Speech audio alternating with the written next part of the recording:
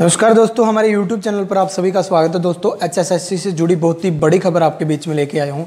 दोस्तों, एचएसएससी ने जो सब इंस्पेक्टर के पदों पर भर्तियाँ निकाली थी तो वो जो है चार सौ पैंसठ पदों पर भर्तियाँ निकली थी, जिसमें 400 पद मेल और पैंसठ पद फीमेल के लिए रखे गए थे। परंतु उसकी आवेदन करने की जो लास्ट डेट थी, पहले 2 जुलाई 2021 थी, अब वो एक्सटेंड करके जो है 9 जुलाई 2021 कर दी है। और जो फ़ीस जमा करवाने की लास्ट डेट थी, वो पहले 6 जुलाई 2021 थी, अब आप जो है 13 जुलाई 2021 तक अपनी फ़ीस जो है सबमिट कर सकते हैं। तो दोस्तों, जो भी कैंडिडेट अप्लाई करना चाहते हैं सब इंस्पेक्टर के पदों पर, वो जल्दी जो है अपना आवेदन करें, क्योंकि 9 जुलाई जो है लास्ट डेट है, इसके बाद जो है शायद ही डेट एक्सटेंड की जाए।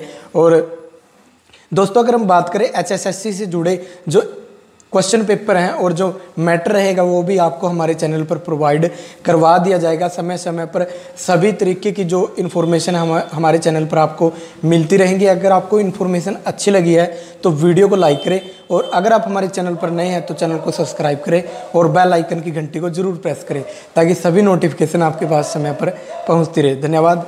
जय हिंद, जय भारत।